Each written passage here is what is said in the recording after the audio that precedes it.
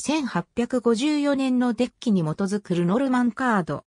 ルノルマンカードとは、フランス革命からナポレオン一世の時代にかけて活躍した天才占い師マリー・アン・アデレード・ルノルマンにちなんで名付けられた占いに用いるカードのことである。カード占いといえば、タロットカードや各種のオラクルカードがよく知られているが、解釈のシンプルさや展開方法の面白さが受けて、ルノルマンカードも人気が高い。ルノルマンカードには1枚ずつに3船、18件、21山、9花束といった特定の番号とモチーフが描かれており、主に36枚を1デッキとして使用する。この他に54枚を使用する場合もある。1枚のカードには1つのモチーフのみ描かれており、そのモチーフが象徴するものから結果を解釈していく。例えば、9番、花束のカードなら、贈り物や行為を、6番、雲のカードなら、雲行きの怪しさからトラブルや障害などを表している。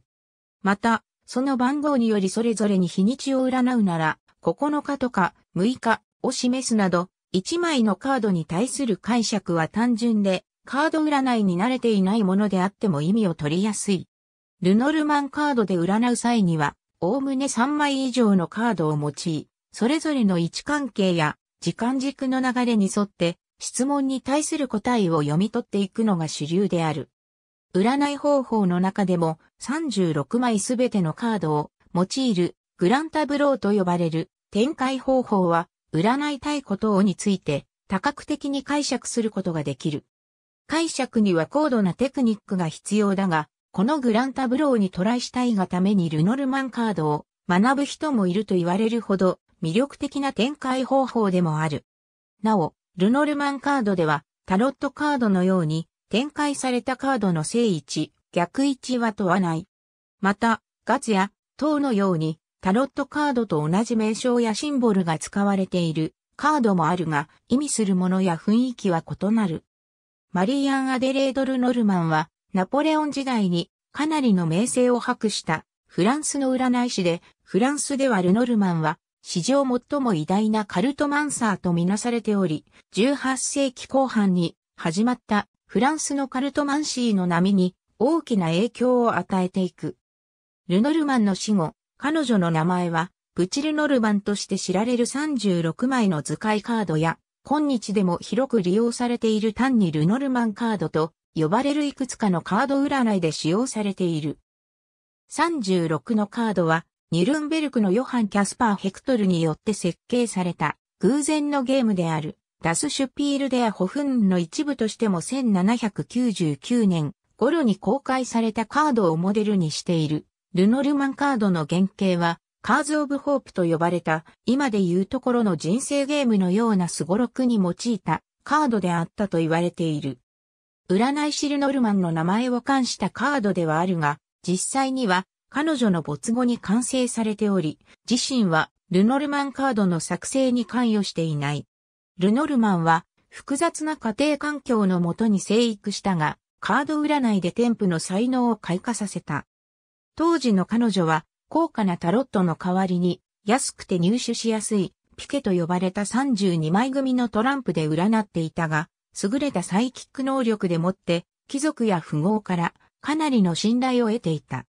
ナポレオン一世の皇后、ジョゼフィーヌ・ド・ボワルネも彼女の有力な顧客の一人であったとされているが、これは彼女自身の手による自伝に記されたものであり、宣伝効果を狙った作り話であるとも言われている。それでも、ルノルマンが占い師として華々しく活躍していたことはそういない。この時代に彼女が用いたことでカード占いが定着し始めたため、その後、出版社がこぞって占い用のカードを制作するようになった。そこで、ルノルマンの人気にあやかろうと、彼女の名前をカードにつけたものが現在のルノルマンカードであると言われている。ルノルマンカードは発売当初、故郷であるはずのフランスでは普及せず、ドイツやオランダ、オーストリアで広まっていった。このことからも、占い師のルノルマンにはほとんど関連性がないことがわかる。ルノルマンカードの占い方まず、デッキの中から象徴カードを1枚取り出す。相談者が男性なら28の紳士のカードを、女性なら29の淑女のカードを取り出してテーブルの上に置いておく。ルノルマンカードはタロットと違い展開されたカードについて位置の制約は問わない。1枚引き、3枚引き、9枚引きの場合には残りの35枚のカードを占いたいことを思い浮かべながらゲームのトランプのように一般的なヒンドゥーシャッフルをする。なお、36枚を使うグランタブローの場合は、象徴カードをあらかじめ取り出すことはせず、すべてのカードをシャッフルする。自分が十分だと感じたところでシャッフルをやめ、上から任意の枚数を脇に置き、その後のカードを選び出す。なお、紳士と淑女のカードがそれぞれ2枚ずつ入っているデッキもある。これは、同性間の相性や仕事に関連した人間関係を占うこともあるためである。このような場合、グランタブロー以外であれば、残りの37枚を使用して占うこともできる。1枚引きワンオラクルと呼ばれる、最もシンプルな占い方法である。シンプルなだけに、複雑な問題には不向きである。例えば、今日はどんな1日になるかとか、イエスかノーの判断など、自分が知りたいと思っていることについて、1枚のカードで答えが読み取れるような単純な質問に向いている。まず、象徴カードを抜いて、テーブルの上に表向きにしておいておく。次に、残りの35枚のカードをよくシャッフルし、その中から1枚を選び出し、象徴カードの上に置く。ルノルマンカードは描かれているシンボルは素朴なものだが、その分解釈できる情報や質は豊富なため、読み取りの方向性が見出しにくくなることがある。したがって、ワンオラクルでは、占いたいことについての質問を明瞭にしておくことがポイントになる。3枚ビッキスリーカードと呼ばれる汎用性の高い占い方法である。展開した際に隣り合ったカードがそれぞれ影響し合うと考えるので、より詳しいリーディングが可能である。1枚引きの時とシャッフルまでの容量は同じで、その後3枚を選び出し、左から順に並べる。あらかじめ質問に応じて3枚のカードのための設定を行う。例えば、過去、現在、未来という時間軸の流れをつかむのであれば、一番左が過去、中央が現在、右が未来を表している。また、恋愛について占うのであれば、1枚目が2人の現在の関係性、中央が相手の自分に対する気持ち、3枚目が近い将来を表すと設定しても良い。3枚を使って全体の流れを読みつつ、隣り合う2枚でもって過去と現在、現在と未来をセットにして掘り下げた解釈をすることができる。3カードによる占い方法では、ワンオラクルと同様に1枚ずつ読み解くのと同時に、占いたいことをコンビネーションで解釈していくことで、より深く興味深いものになっていく。9枚引きるノルマンカードの奥義とも言うべき、グランタブローに進むための予行演習としても最適な展開方法で、3枚ずつ3段に並べる。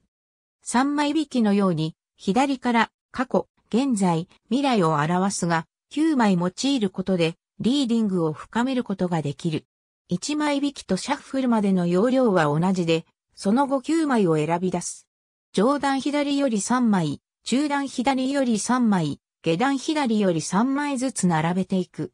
あらかじめ抜き出しておいた象徴カードは中央に来るように置いておき、その上に5枚目に来たカードを重ねる形になる。一番上の段は質問者が考えていること、精神的なことなど内面を表している。質問者の思考の流れを見ることができる。質問者真ん中の段は、占うことについての現実的な動きを示している。質問者の行動、あるいは周囲の状況が実際にどのように物理的な変化をしていくかを見ることができる。一番下の段は思考と行動との結果、その時期にその問題がどのような結果をもたらしたか、そして今後どうなっていくかということを表している。象徴カードに重ねられた5枚目のカードが中心になるので、ここには今現在の状況が現れていることになる。36枚引き36枚すべてのカードを用いるグランタブローはルノルマンカードの最大の魅力、面白さが詰まった占い方法である。グランタブローはフランス語で壮大な絵という意味を持つ。ルノルマンカードは小さめのカードであるが、それでも36枚すべてを並べるため、ある程度のスペースの確保が必要になる。他の占い方法と違い、あらかじめ象徴カードを抜き出しておくことはせず、36枚のカードすべてをシャッフルする。十分だと感じたところで、1段目左から9枚を並べる。これをあと合計4回繰り返し、9枚ずつのカードが4段並べられることになる。そして、質問者の象徴となるカードを中心にして、スプレッドの中から十字のラインを見出していく。象徴カードが一番右端ないし、左端に展開された場合には、十字が見出せないため、シャッフルからし直し、再度並べる。何度やり直しても象徴カードが右端、または左端にしか展開されない場合には、質問が適切ではないとか、今占う時期ではないという可能性が高い。質問や占い方法を変えたり、日時を改めることを考える必要がある。グランタブローには様々な解釈の仕方があるが、オーソドックスな方法は、象徴カードを中心に形成される十字を見ていく。象徴カードの左側が過去、右側が未来を、上にあるカードが影響力を与えるもの、下にあるカードはコントロールできるものを表すとされる。さらに、象徴カードから対象となるカードとの間の距離の落ちこちを見て、質問者にとって今重要なことや幸運あるいは心配なことが近づいているか、あるいは遠くにあるかなどを占っていく。このほか、最初の3枚は質問についての補足を表すとか、コーナーにある4枚は質問の裏に隠されている重要なテーマを示しているなど、様々な解釈がある。また、カードの展開された位置に、当該ルノルマンカードの番号を持つカードそのものの意味付けをするルノルマンハウスと呼ばれるリーディング方法もある。例えば、1番目の定位置は、ルノルマンカード1番、機種である。そのため、この場所に展開されたカードは、この機種のカードの意味するニュースとか通信についてのテーマに対する答えを示していると解釈する方法である。このようにグランタブローの解釈方法は多彩、多様である。熟練者であれば、グランタブローを数時間かけて解釈していくと言われており、高い解釈能力が求められるルノルマンカードの奥義であると言える。欧米で最もスタンダードなものは、ブルーオールデッキである。日本でも入手しやすく、最近ではこの白色バージョンのホワイトオールも出版されている。ブルーバードルノルマンは幸運を呼ぶという青い鳥が裏面にデザインされており、絵柄も標準的でわかりやすい。繊細な部分まで丁寧に描かれているミスティカルルノルマンも人気が高い。